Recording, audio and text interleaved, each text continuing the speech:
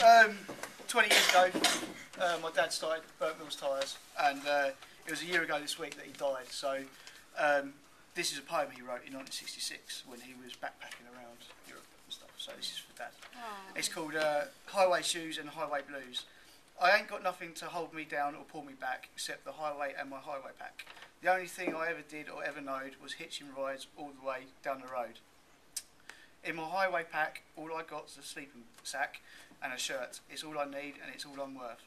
I don't own a fancy suit or anything like that, just my highway shoes and my highway hat. I've got everything I need, there's nothing left to choose. I've got nothing left to win and just the same to lose. It's all been lost already or maybe won, out on the highway with things I have done. All I know is what I'm made for, me and my guitar, and that's not, and, that, and that ain't paid for.